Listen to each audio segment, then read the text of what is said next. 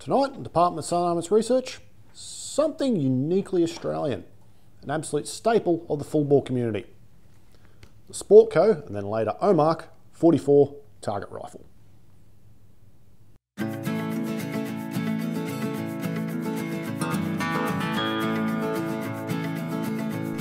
So we talked about Sportco on the channel before, namely this Model 62A22. Sportco made a wide range of firearms for the Australian market including this specialist target rifle.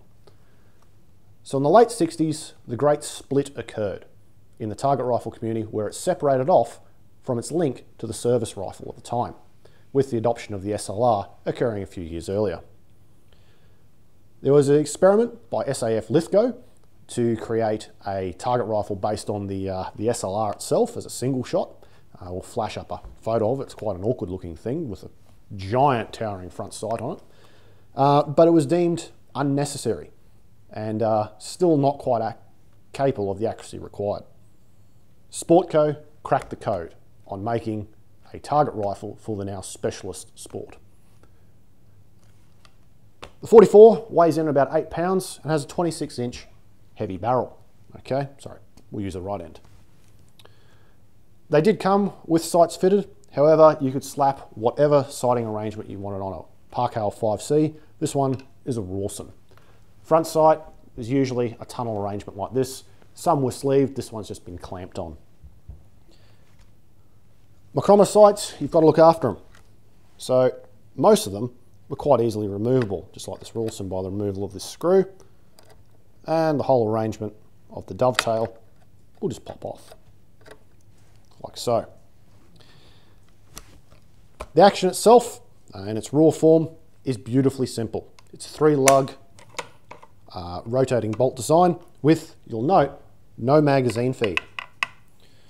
That obviously adds stiffness and rigidity to the action. Is that right, Mia? My obligatory beagle has just arrived on scene. So, no magazine requirement, so one wasn't fitted. The ejection port is as small as it can be, while still allowing enough space to thumb your round or drop it into the, to the, uh, the loading port and press forward on the bolt, come up onto the mound, close down the bolt and take your shot.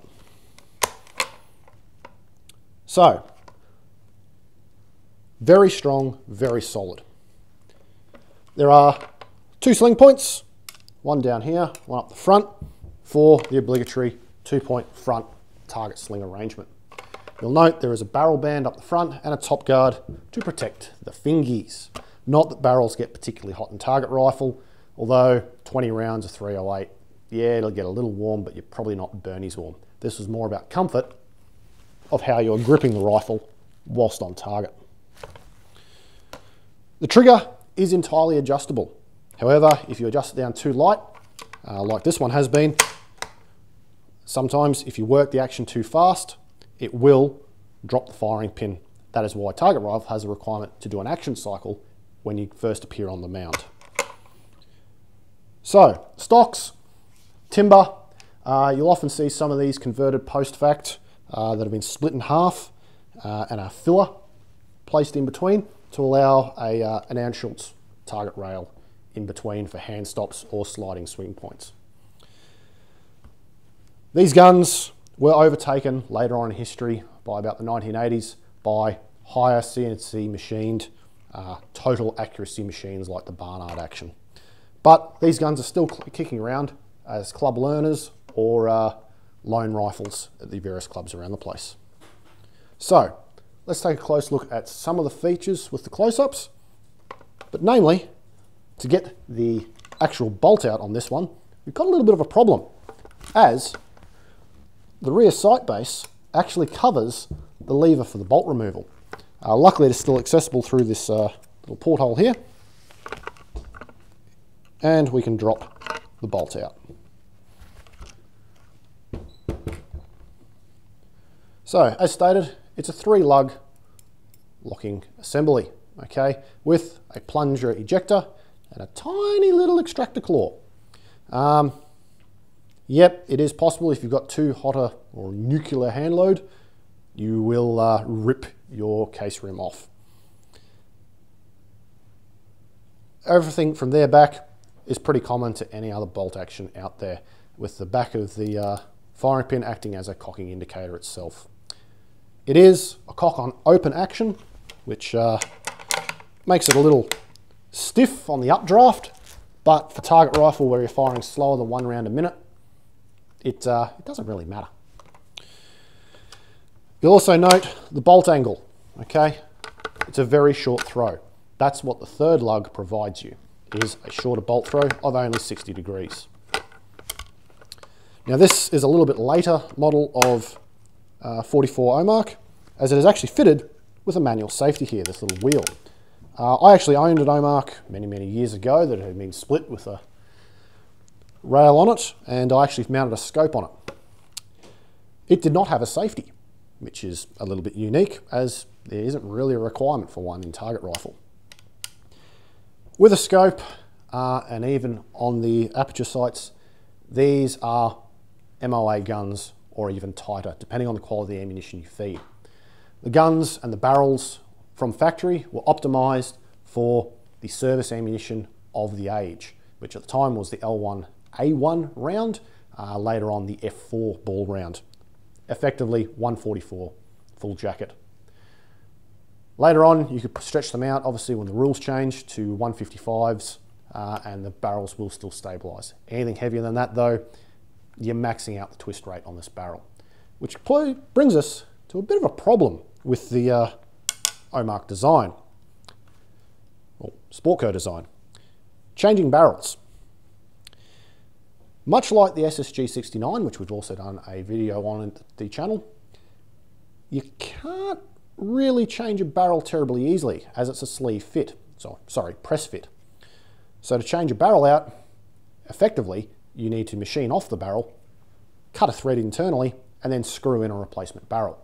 And companies such as MAB Engineering were the first to start doing that or making barrel adapters. Obviously, most uh, barrel makers and gunsmiths in Australia have cracked that code and have worked on it. But MAB Engineering is important. MAB were a company out of uh, Brisbane, and in 1984, they bought the rights to the Omark design. Now I keep using Omark instead of Sportco 44 because that's what they're better referred to as. As in 1970, Sportco sold on their rights to the Omark company. And that's what is actually marked on this one. It's actually dual marked. Sportco Model 44, made in Australia by Omark. 7.62 caliber. Three digit date code, uh, sorry, two digit, sorry, two letter, the three digit date code uh, is entirely irrelevant uh, as they chopped and changed serial number blocks and letter blocks all over the place. We talked about this in the previous video. So, very, very accurate, but in 1984, the world had pretty much moved on to other things. That said, MAB still kept developing the Omark 44 action and actually built conversions to 5.56, which was done by means of changing the barrel and the bolt head. Relatively easy when you look at it. The bolt head is actually removable by way of a pin, and we'll cover that in the close-ups. Sights, as I said, differed. This is a. You could fit a Parker Hale 5C or whatever kind of Anschutz micrometer you had or wanted, and the guns still are accurate to this day. If the barrel hasn't been shot out, as this one is still the original, it shoots fantastically. A unique piece of Australian design and firearms history, and they're really cheap. So if you wanted to get one of these from uh, secondhand from someone in your local club or uh, one sitting on a dealer rack somewhere, used guns you can see them going for about 400, 450, even as cheap as 300 bucks depending on condition and what modifications have been made. You can scope them like my other one was and uh, enjoy them for what they are. A very, very accurate single shot 7.62 target rifle.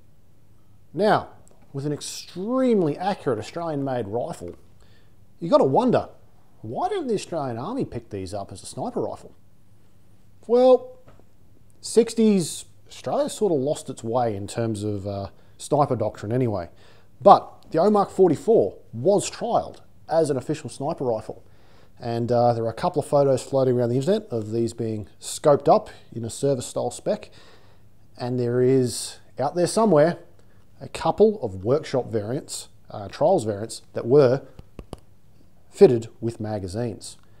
Unfortunately, they proved a little bit unreliable uh, in terms of feeding, and uh, the whole program was eventually abandoned, which is a bit of a shame because an Australian-made sniper rifle in the era of the L42 or the, uh, the early designs of the Accuracy International type would have been really, really cool.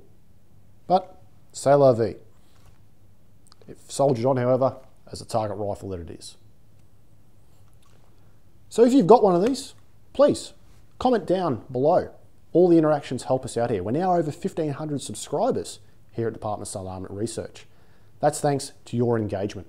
So keep commenting, talk about your experiences with them or why you potentially moved on, and uh, enjoy the sport of shooting, folks. There are many different facets to it. Target rifle is just one of them. Have a good one.